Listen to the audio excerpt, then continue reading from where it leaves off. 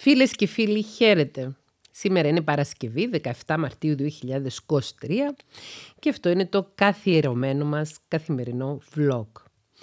Προτού προχωρήσω στο να διαβάσω το email της φίλης που αποτέλεσε την αφορμή για να κάνουμε αυτό το βίντεο, θέλω να σας ευχαριστήσω θερμά όλους όσοι ε, με ε, στηρίξατε και υποστηρίξατε χθες με το λανσάρισμα του νέου μου εγχειρήματος του να φτιάξω ένα podcast. Ήταν πάρα πολλά τα σχόλιά σας και στα κοινωνικά δίκτυα και εδώ κάτω από το, από το βίντεο του podcast που με δημοσίευσα στο κανάλι μας στο YouTube. Σας ευχαριστώ πάρα πολύ. Ε, είμαστε μαζί σε αυτό. Και υπενθυμίζω ότι δεν είναι ανάγκη να δημιουργήσετε λογαριασμούς σε πλατφόρμες podcast προκειμένου να το ακούτε όσοι είστε εδώ. Κάθε πέμπτη πρώτα απ' όλα θα ανεβαίνει στο κανάλι μας το βίντεο με το podcast και όπου ακούει ο κόσμος podcast θα ανεβαίνει ηχητικό. Λοιπόν, ευχαριστώ πολύ. Ευχαριστώ. Και επίσης ευχαριστώ πάρα πολύ για τα πολύ ενθαρρυντικά σχόλια και για τα πολύ όμορφα μοιράσματα κάτω από το βίντεο «Ας ρυθμιστούμε». Είμαστε μια μεγάλη οικογένεια, είμαστε μια αγαπητική κοινότητα ανθρώπων που προσπαθούμε να γίνουμε καλύτεροι και να ξεπεράσουμε τις δυσκολίες και τις τρικλοποδιές της ζωή που πολλές φορές εμείς οι ίδιοι βάζουμε στον εαυτό μας. Χθες το βράδυ πέρασα περίπου ένα τρίωρο, ίσως και περισσότερο, διαβάζοντας ένα μέρος από τα πολλά email που έχω φυλαγμένα για να διαβάσω από αυτά που μου στέλνετε. Και δεν σας κρύβω ότι σε κάποια email στενοχωρήθηκα πολύ. Πάρα πολύ. Υπήρχε ένα συγκεκριμένο email, ξέρει ποια είναι που το έχει γράψει, με τίτλο «Τα προβλήματα μας στη ζωή μας τα δημιουργούμε εμείς», το οποίο με στενοχώρησε αφάνταστα.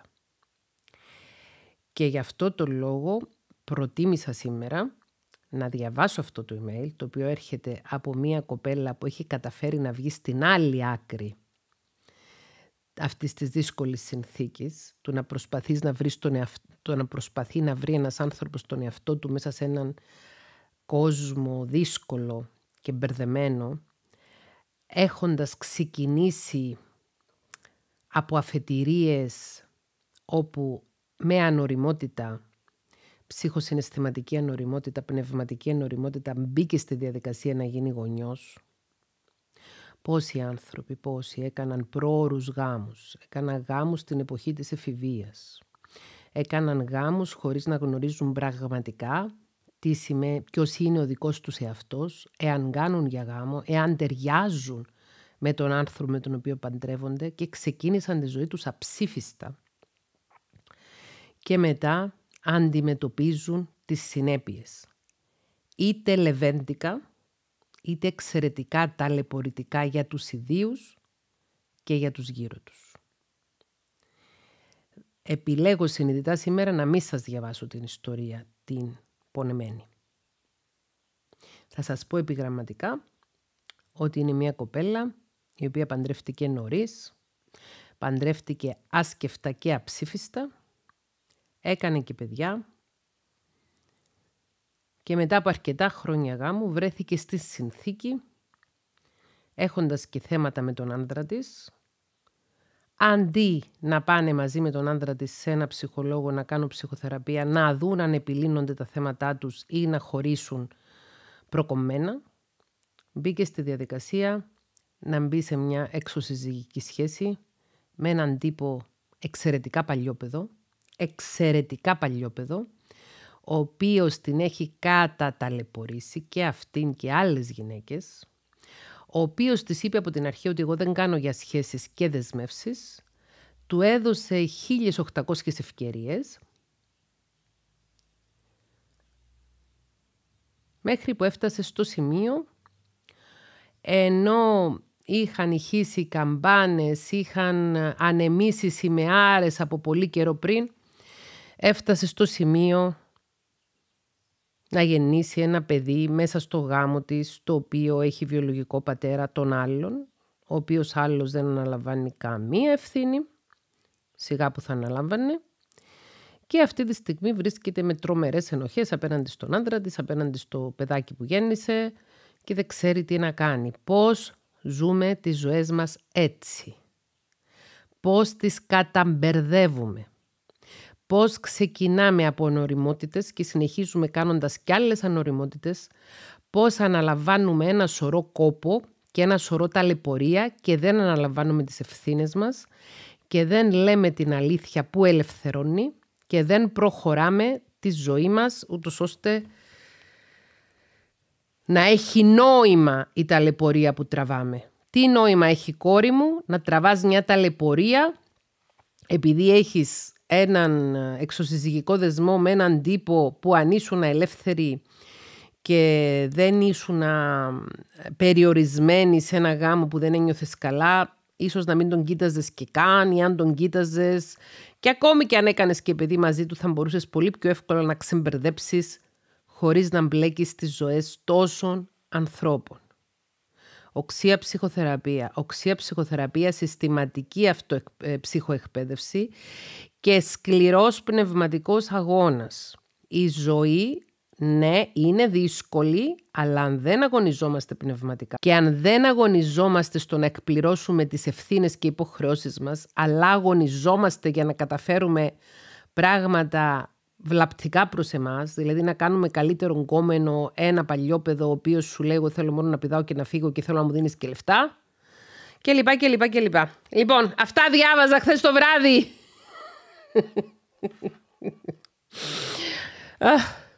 και αναστατώθηκε και ο Λακούλης γιατί ήμουν αναστατωμένη και έτσι του έβαλα ένα, ένα ντοκιμαντέρ στο Netflix που δείχνει ζωάκια και το βλέπε και ρέμισε. Λοιπόν, πάμε τώρα να διαβάσουμε το αισιόδοξο. Πάμε τώρα να διαβάσουμε το ενθαρρυντικό. Πάμε τώρα να διαβάσουμε αυτό που θα μας βοηθήσει.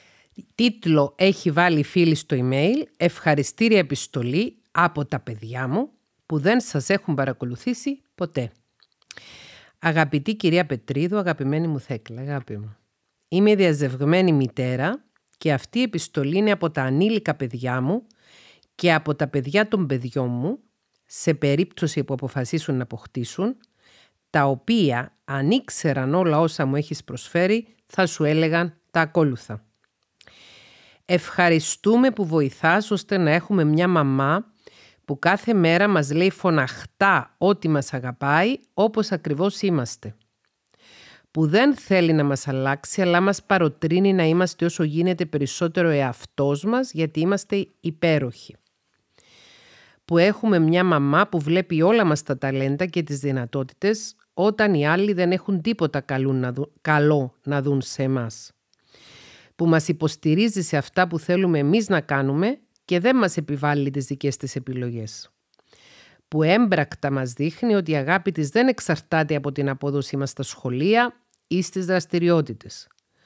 Που όταν της λέμε ότι είμαστε αγχωμένα και κουρασμένα, μας εξασφαλίζει χρόνο και χώρο ξεκούρασης και μια μεγάλη αγκαλιά για να ξαποστάσουμε. Που μας μαθαίνει να ντύνουμε με λόγια τα συναισθήματά μας και πάντα είναι εκεί για να μας ακούει.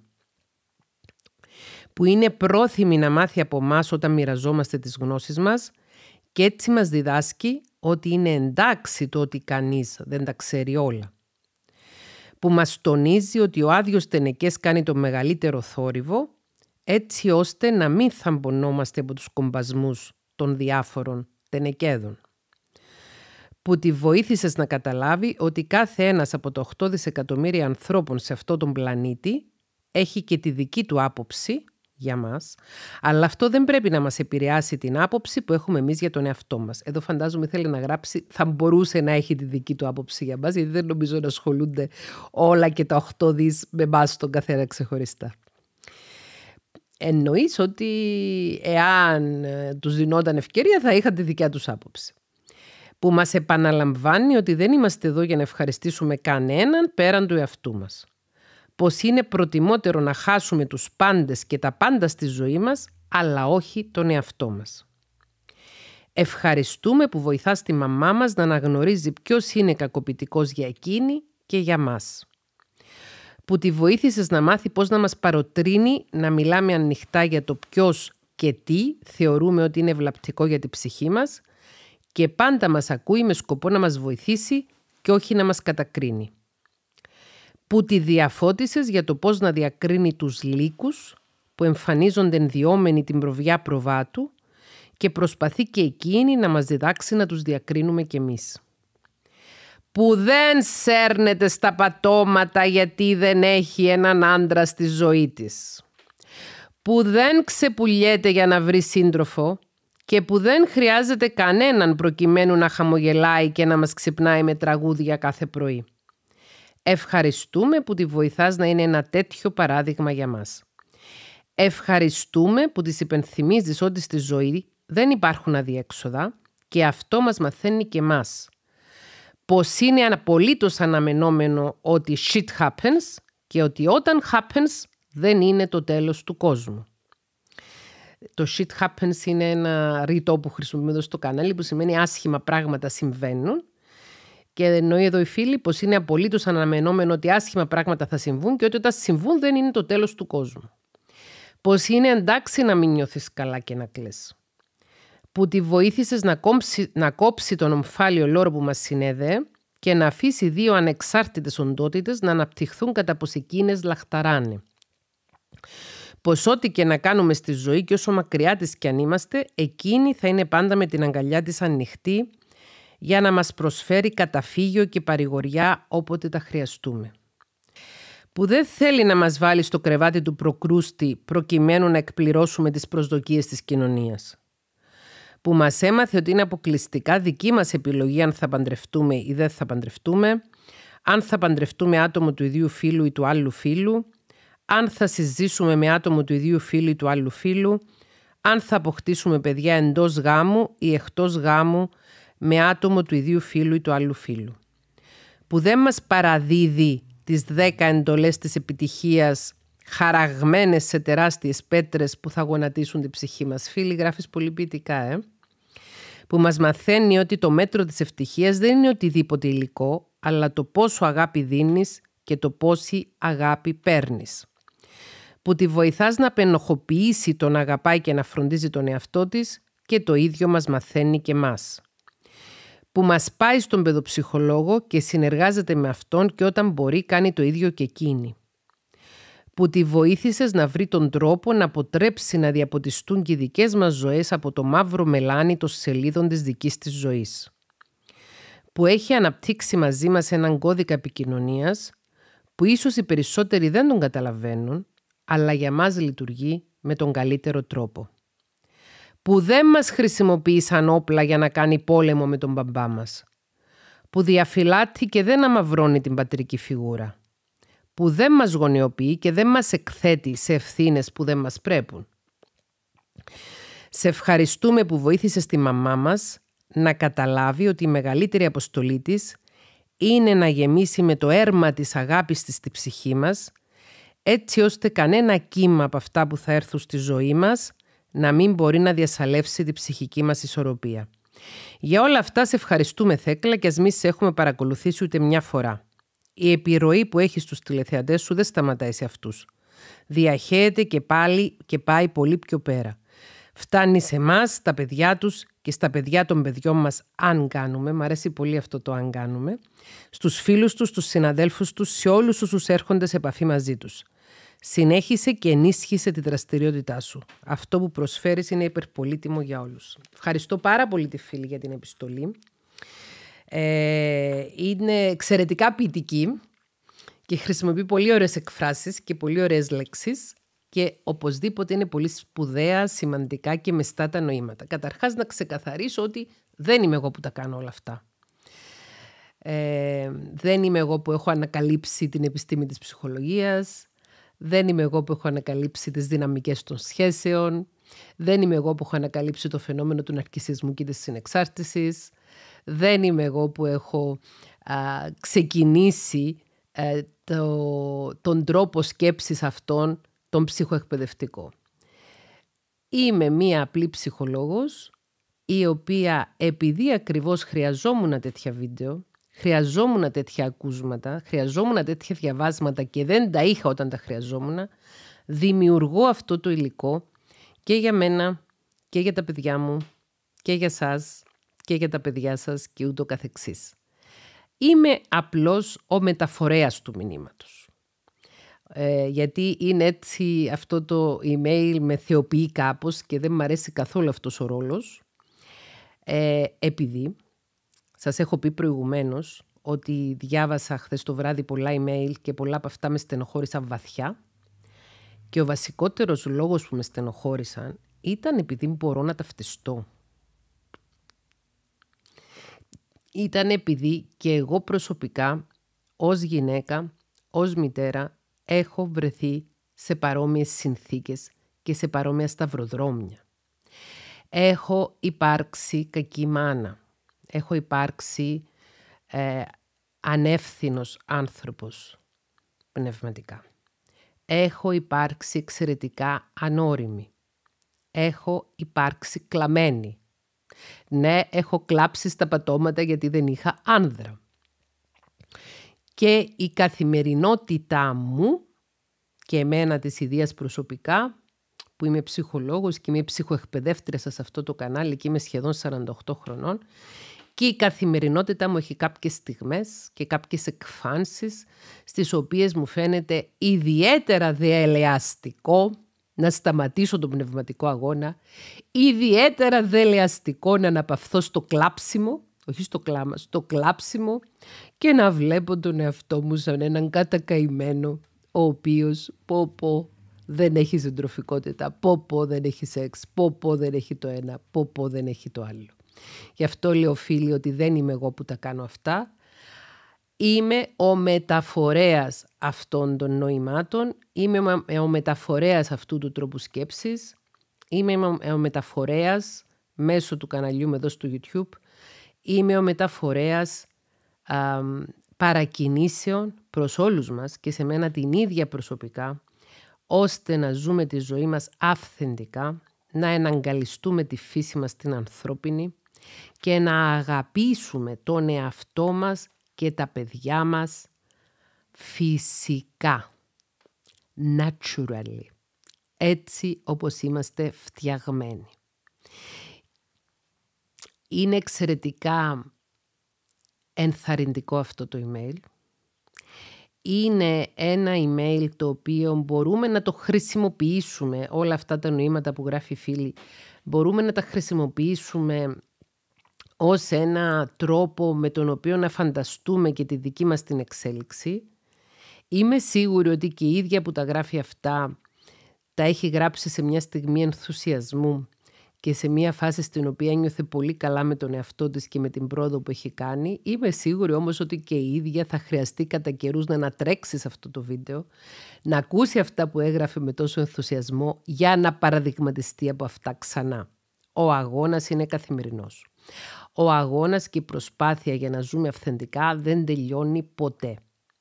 Είναι όμως απαραίτητο να πάρουμε αυτή τη σοβαρή απόφαση, την οποία φαίνεται ξεκάθαρα μέσα από το email της φίλης ότι την έχει πάρει, να ζήσουμε τη ζωή μας αυθεντικά. Αυθεντικά. Χωρίς μεσοβέζικες λύσεις. Χωρίς ευκολίες οι οποίες θα καταστούν τεράστιες δυσκολίες. Τα εύκολα στο τέλος της ημέρας είναι τα δύσκολα Θυμηθείτε το παράδειγμα της κοπέλας που σας έλεγα που διάβασα το mail της εχθές και καταστενοχωρήθηκα. Η εύκολη λύση να μην χωρίσω από τον άνδρα μου, να προβώ στο να δημιουργήσω μια εξωσυζυγική σχέση και να θεωρήσω ίσως ότι έτσι θα καλύψω τα κενά μου ή θα έχω μια μετάβαση από ένα γάμο που δεν είναι καλό σε ένα άλλο γάμο που μπορεί να γίνει καλός. Η εύκολη λύση η οποία έχει φέρει εξαιρετικές δυσκολίες. Και τα δύσκολα είναι τα εύκολα το δύσκολο, το να μην ξεπουλήσεις τον εαυτό σου φτηνά, το να μην πεις άντρας να είναι και ό,τι να είναι, γυναίκα να είναι και ό,τι να είναι, ο έρωτας υπεράνω όλων. Ε, να είμαι ερωτευμένη, να είμαι ερωτευμένος και δεν πάει να είμαι ερωτευμένος με έναν άνθρωπο ο οποίος είναι κακοποιητικός και επικίνδυνος ή να είμαι ερωτευμένος με ένα πρόσωπο το οποίο δεν είναι διατεθειμένο και δεν είναι ικανό και δεν έχει την πνευματική ρόμη και την πνευματικότητα να δουλέψει τον εαυτό του, να δουλέψει τον εαυτό της προκειμένου να είναι ένας υγιής σύντροφος. Ένας ψυχοσυναισθηματικά υγιής σύντροφος.